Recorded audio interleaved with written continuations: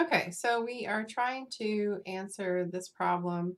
Uh, draw the circuit produced using the nearest neighbor algorithm, starting at the vertex on the far right.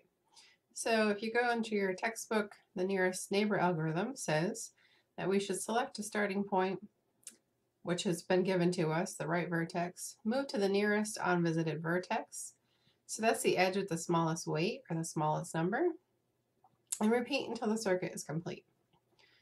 So uh, the, the line tool should already be selected. We're going to start by clicking on the right vertex. And according to this diagram, we could take this path, this path, this one, or this one. So 7, 13, 12, or 8. Well, of course, 7 is going to be the, the cheapest path, the one with the smallest weight, or aka the one with the smallest number.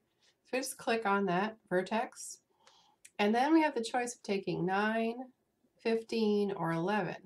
We're not going to go back on 7 because we need to hit every vertex.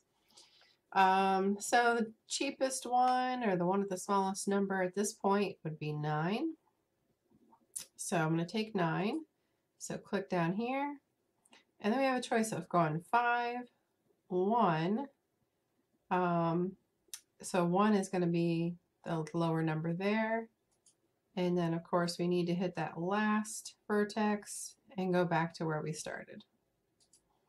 So there it is. And then just click anywhere off of the graph to end it.